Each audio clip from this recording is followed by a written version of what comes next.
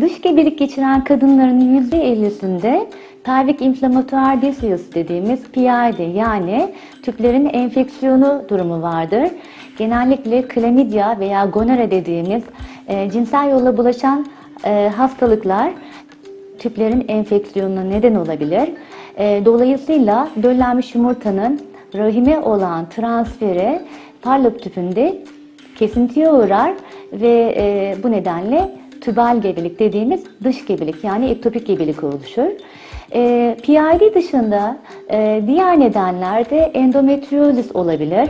Endometriozis rahim iç dokusunun rahim dışında yerleşmesi halidir ve yine parlak tüplerini etkileyebilir.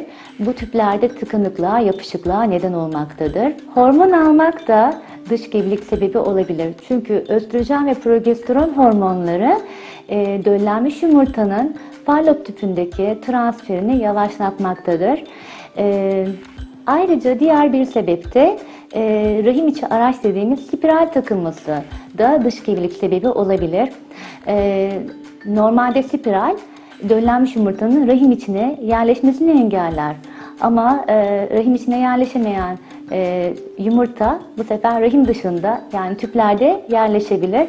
Ancak e, spiralle hamile kalma olasılığı son derece düşük olduğu için bu olasılık e, da yine son derece zayıftır.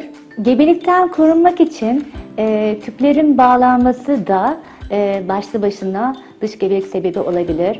Eğer tüplerini bağlattığı halde gebe kaldıysa e, büyük olasılıkla e, bu gebelik dış gebelik olacaktır. Veya tüplerini bağlattıktan sonra geri dönüş ameliyatı istiyorsa kadın bu çok başarılı bir cerrahi olsa bile dış gebelik ihtimali yükselmektedir. Önceki dış gebelik öyküsü de yeni bir dış gebelik ihtimalini arttırabilir. Yani kadın ilk defa dış gebelik yaşadıysa ikinci gebeliğinde %15 oranında bu risk artmakta. E, hatta iki dış gebelik yaşadıysa bir sonraki gebeliği %30 oranında dış gebelik e, ihtimali olmaktadır.